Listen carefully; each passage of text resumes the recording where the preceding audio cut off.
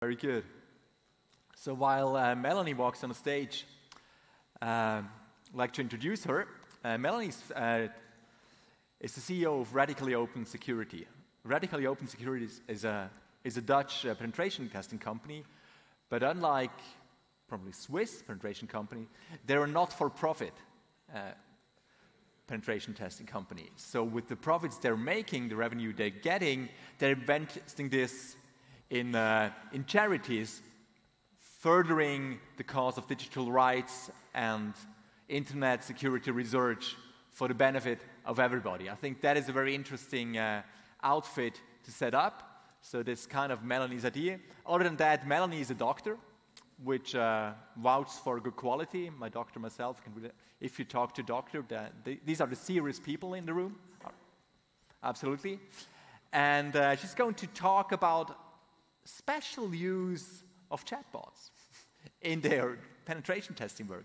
Please welcome Melanie Rieback.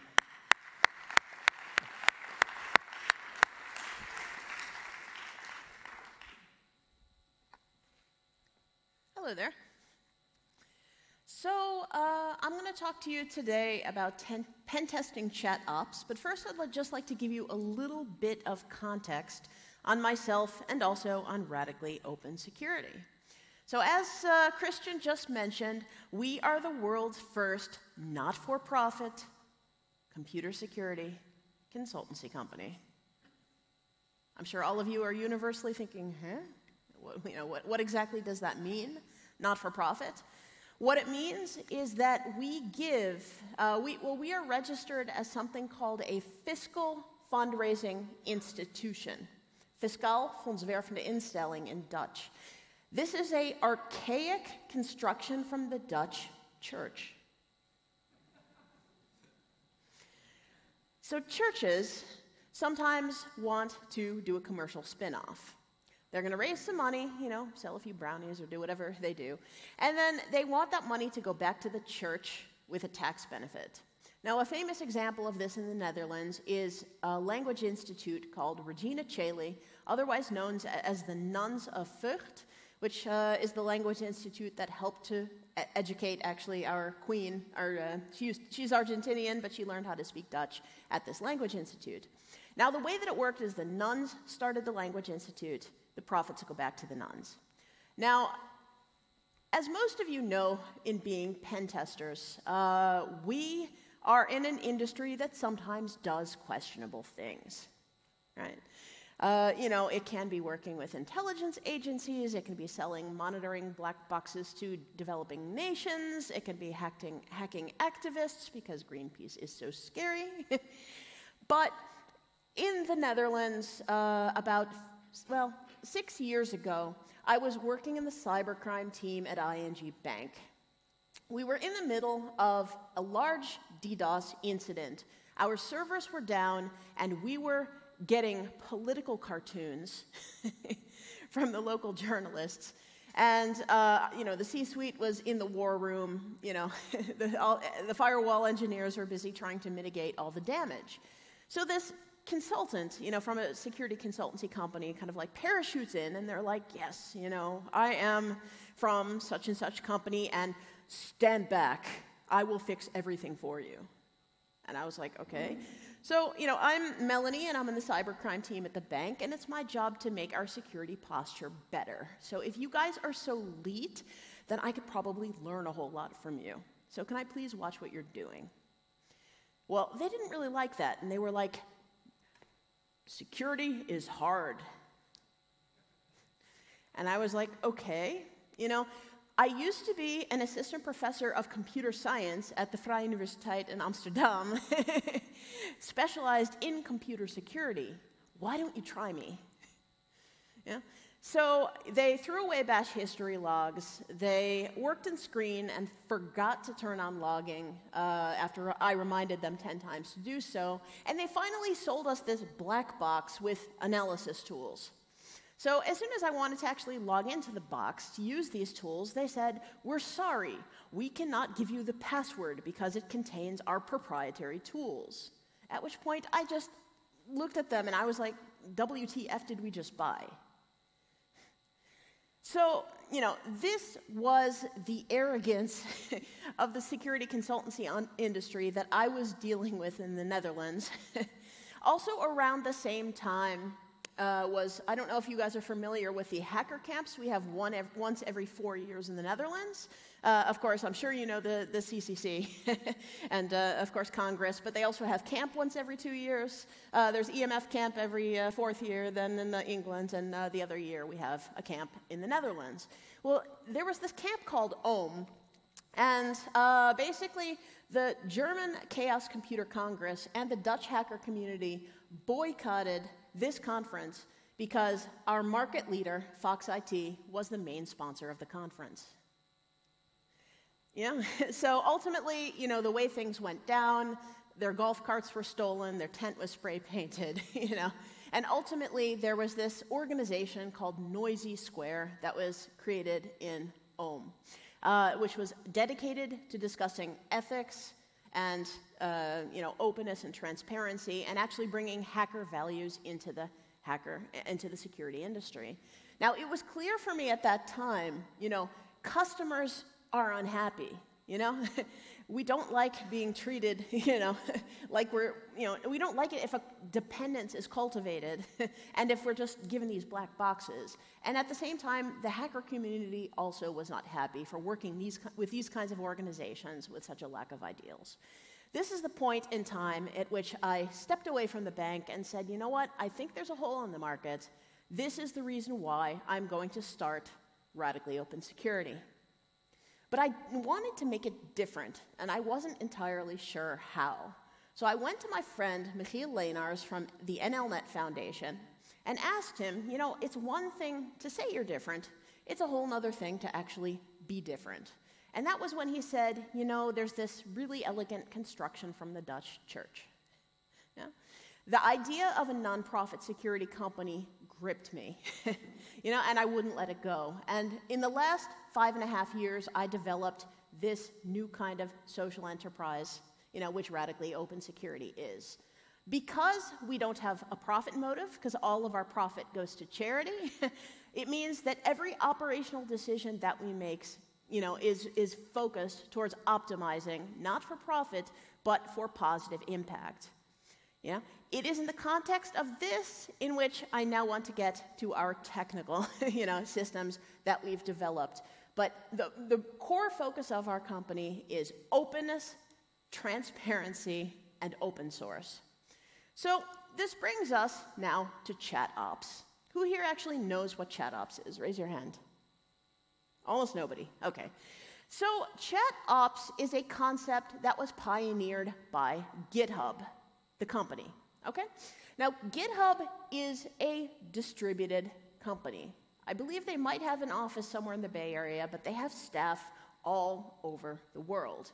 Now, Radically Open Security, when we first started, we had a very similar situation. I didn't uh, get an office because it was too expensive, and I was bootstrapping.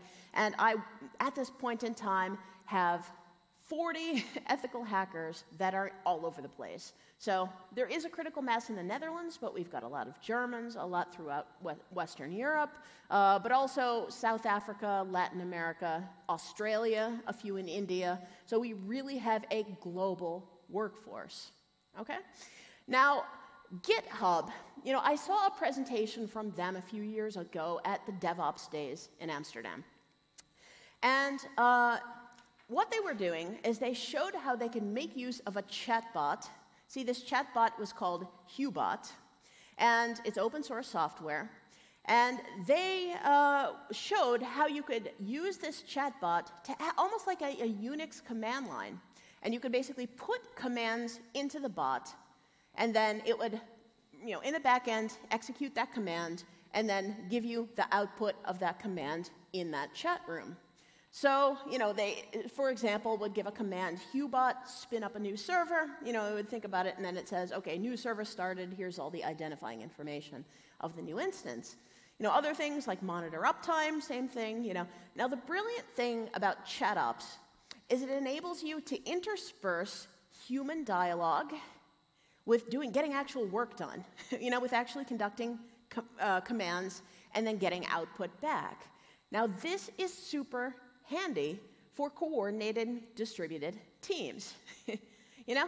And when I first started Radically Open Security, I mean, we were a distributed team already, but I knew that it could be done because look at how the majority of capture the flag teams work. you know, at the beginning, I sort of started with, uh, you know, the typical uh, IRC and Etherpad. but, uh, you know, but at a certain point, uh, I saw this chat ops, and it was like, it was like the heavens parted. And I said, oh my God, this would be so amazing for security. So I ran home and asked my system administrator to install RocketChat. So RocketChat is essentially a open source, self-hosted version of Slack. Who here uses Slack? Okay. Who here, here uses uh, one of the open source Slack variants? Oh my gosh, almost nobody. Okay, well, Slack is a really handy distributed chat environment. It's basically a bit like old school IRC, except it's a whole lot more multimedia friendly. It's pretty easy for uh, you know even normal like you know normal people, lay people uh, to use. So um, we you know, after we had Rocket Chat installed, we then also installed Hubot, and at that point in time, we were able to start. Uh, you know, having commands. So for example, uh, if I go back to the, back, the last slide, you can see this command here that I type in, and it's, I go ROSBot pug me, and then it spits out this picture of a pug. Now, of course, this is completely useless. well, culture is important. But, of course, we can do far more useful things than this. Here's something that's a bit more useful.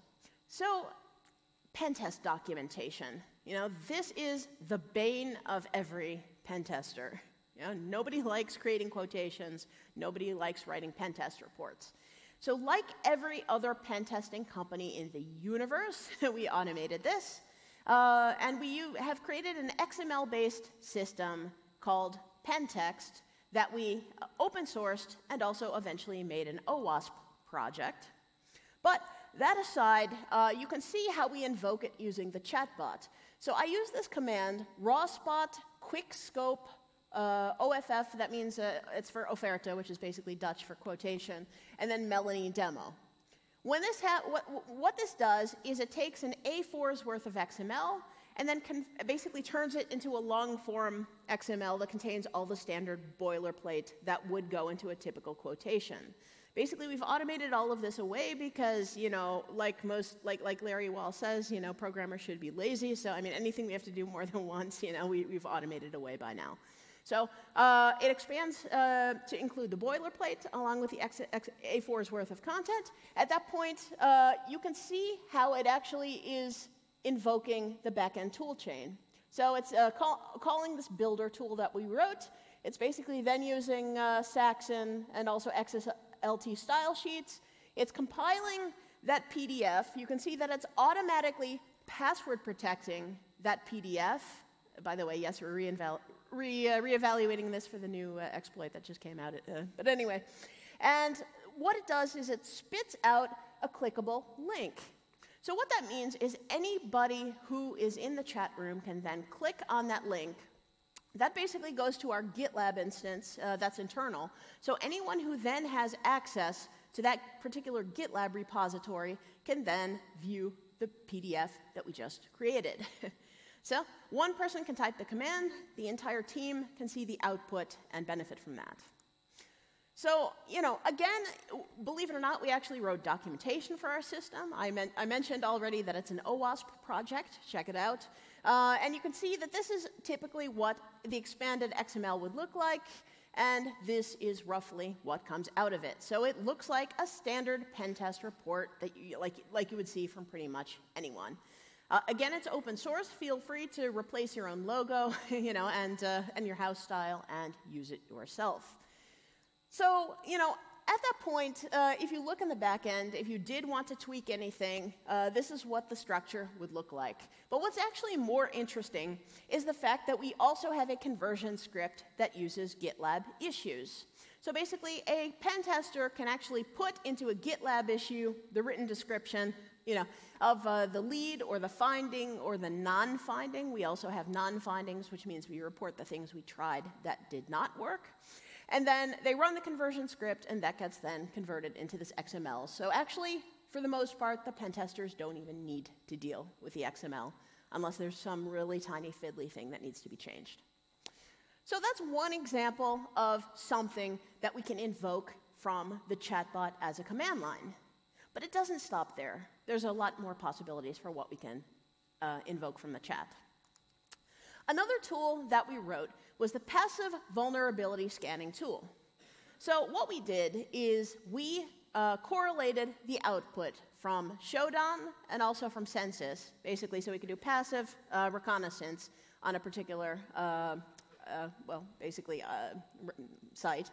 And then what we can do is, again, invoke this from the chat and then get the report, uh, basically, you know, the output comes into the uh, chat room, and then if there's long lists, that also automatically gets uh, checked into GitLab, where you then can click on a link and then automatically go to that. So it's actually a super you, you know, efficient workflow. And you can use this for so many other kinds of tools. Things like running scans, like say Nmap, you know, or web scanners like W3AF, you know, or uh, other kinds of tools, you know, you can basically have it so that the scan output goes directly into GitLab. The chatbot then at that point spits out this nice clickable link, and then, you know, it makes the workflow super fast and super efficient. So, but there's another little thing that we do that's a bit different from other security companies. So, I told you about that story from when I was at that at the bank and I had that incident where I wanted to watch with the security company. Now, ultimately, in that story, how I finally saw what that company was doing is I physically stood next to them and I looked over their shoulder, you know, because that was the one way they couldn't get rid of me. so, you know, that was the inspiration for the workflow that we call peek over our shoulder. So, what this means is we take our customers and we add them into our chat rooms and remember, we're a distributed company. I've got hackers all over the place. We have no office. So they are watching you know, and listening to every single conversation that my hackers are having, you know, while we are busy breaking their stuff. It's awesome. Yeah?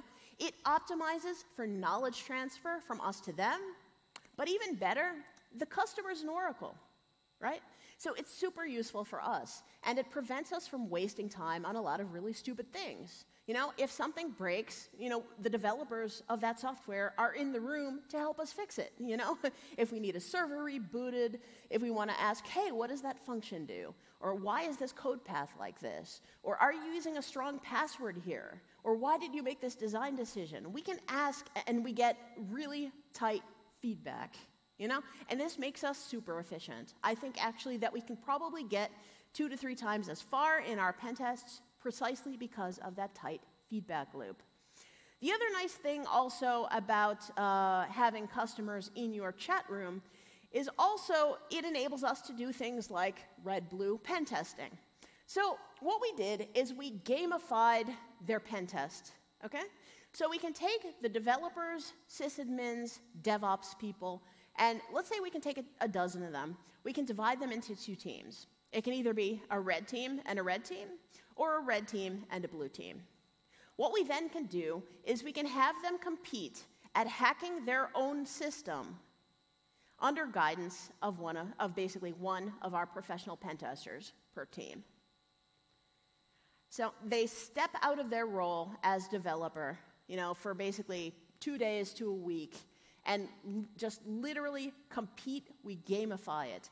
The number one comment that we get after red blue pen testing exercises is, and I quote, I will never look at code the same way again.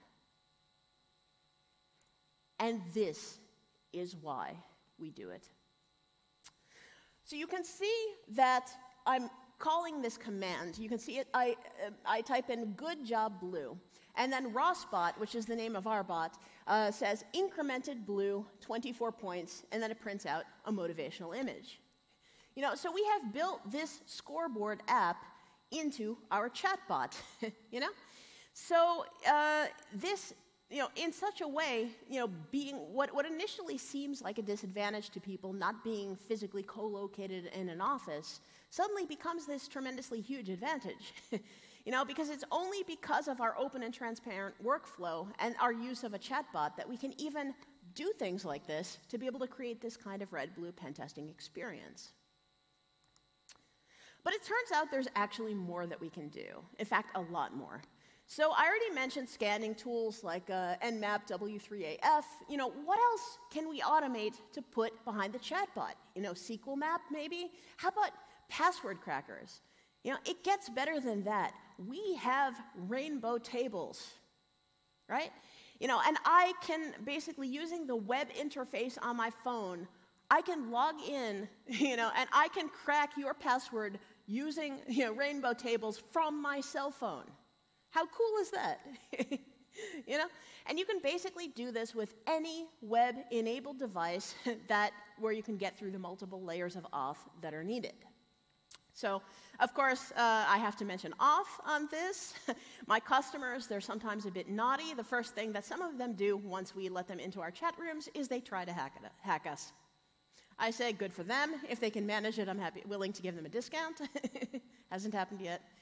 But uh, of course, we need to also think about the security of such things because, uh, like any software, there's also obvious security implications of having customers in your chat rooms and keeping data separated, etc.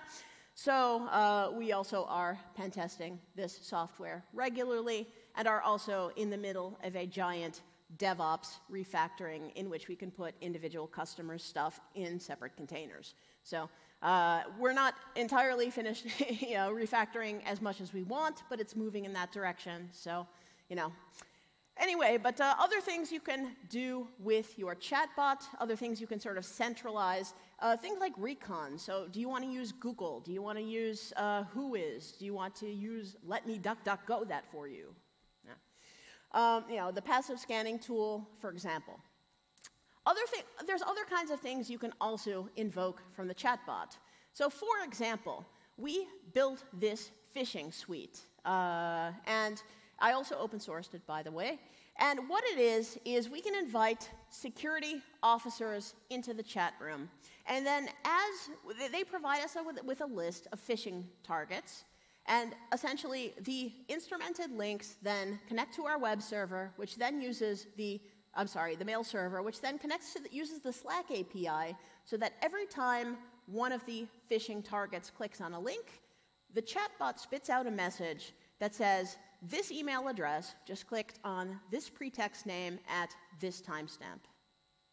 So the security officers can literally sit there and watch their own employees getting phished. You know, sometimes it's super entertaining. You know, I mean, we've also have uh, instrumented forms uh, that work in exactly the same way. You know, and at one point in time, we uh, were phishing a developer. At a, uh, I'm sorry, a hosting company. At a certain point, a developer noticed that you know the domain didn't look quite as kosher as uh, it should have been, so he started playing with the form. So we started seeing, you know, like you know, username, hello, password, you know, something else. Username, woohoo, password, SQL injection. That was cute. yeah, it didn't work.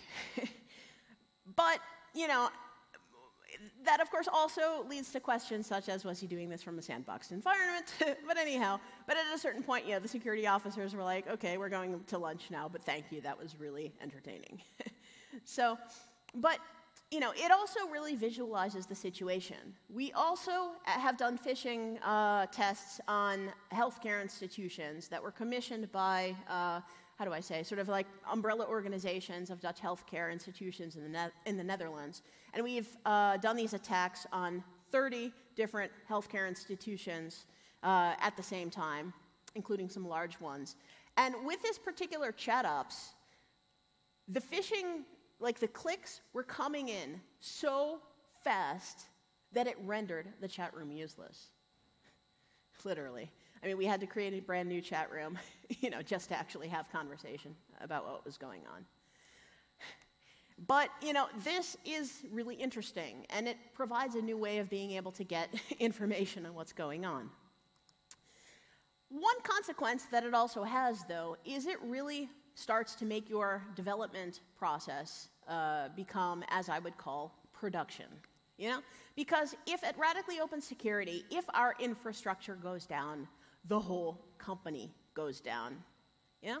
So this essentially t- does have the effect of turning your security company, your pen testing company, into a DevOps company, basically which basically means that you also need dedicated IT people, you know, and, and we're also constantly developing this, constantly refactoring it. But again, the good news is we're, we are doing this big DevOps refactoring. We have Dockerized uh, already large parts of this, you know, for easy spin up for other people. And did I mention we open sourced everything and it's an OWASP project.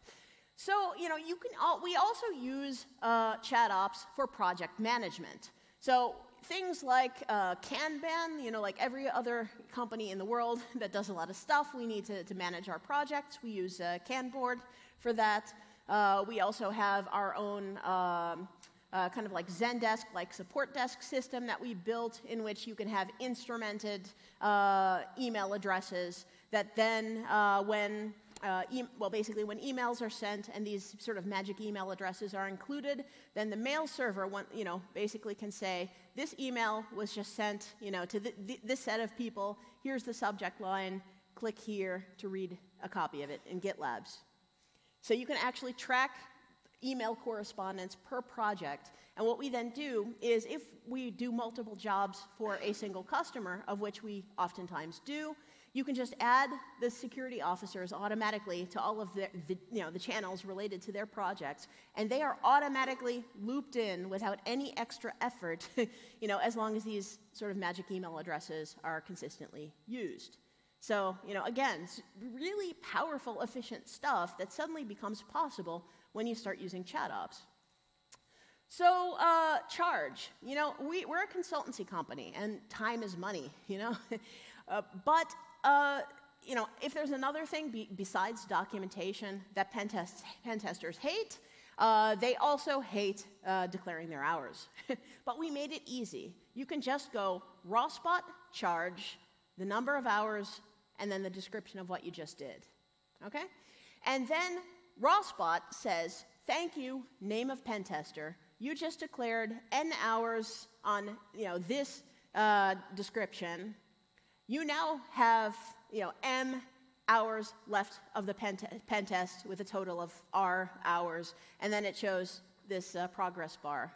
So, you know, it, that much information, which lets the pen testers know at every single charge how much time they have left, but even more importantly, the customers can see where their time for their assignment is going. You know, and when time is money, they care about this. So this is further, you know, really making exactly what we spend time on be as open and transparent as possible. You know, there's a lot more things that we can do. I don't have time to talk about all of it now. We use role-based access control that uh, is consistent uh, throughout our entire infrastructure.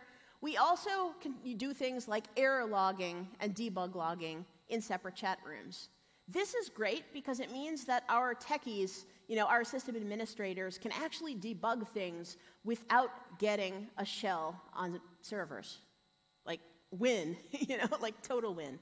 So, you know, other things, we, there's a lot of different commands. So things like help menus, you know, we've kind of built a man-style help menu to help uh, manage the different commands.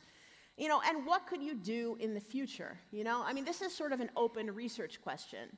Could you, you know, use AI to build AI chatbots? I mean, sorry for, for getting buzzwordy here, but the point that I'm making is, you know, you very well could teach chatbots how to do things like, I don't know, do customer satisfaction surveys. I mean, of course, everybody hates those, right? You get them in the mail and you just throw it away.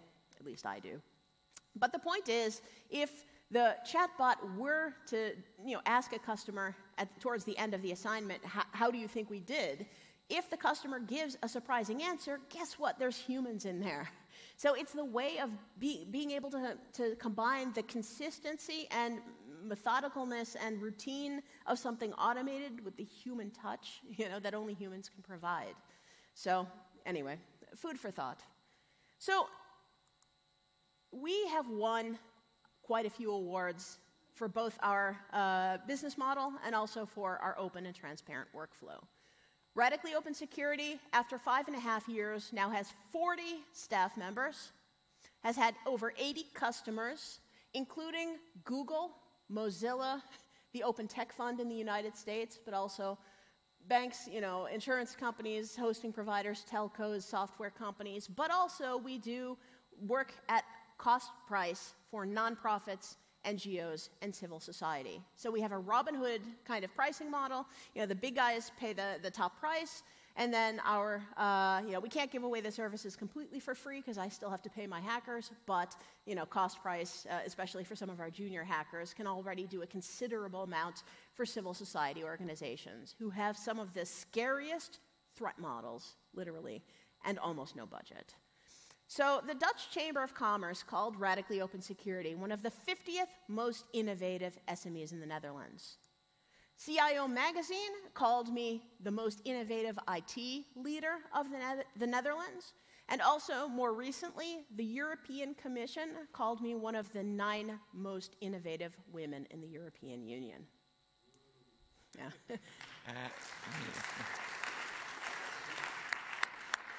Which is kind of funny because I'm American, but never mind. um, but the point is that it's not about me, it's about our ideas. It's about bringing openness and transparency, you know, and optimization for open source into the security industry and into the pen testing process, because this is so desperately needed. And it's also about uh, nonprofit business, what I call post growth business. I do not have time to talk about this today, but what I can say is back in June, I just gave a talk at TEDx Berlin. So if you Google my name, you know, Melanie Rieback, TEDx Berlin, you can get uh, an 18 minute video that describes my business model. If you also want more information on that, you can go to postgrowthentrepreneurship.com. For the rest, I really hope that you have found this talk to be useful, hopefully a bit inspirational, and remember our tools are open source. So if you want a similar workflow for your own company, steal our tools, please, and I would be, oops, uh, I would be happy to help you. So thank you very much.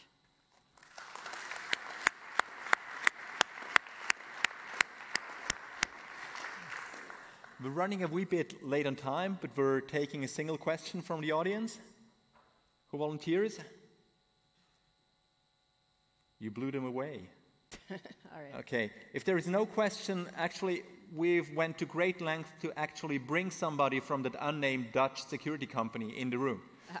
Uh, Ewood, would you like to respond to these claims? Take the mic. Hello. Hello, Melanie. You remember me probably. so I was one of the, the, the, the unfortunate whose golf cart got stolen while we were there yeah. With the big, big ambulance. Um, uh, oh. Yeah, it, uh, it, wasn't nice of the hackers to do that. Uh.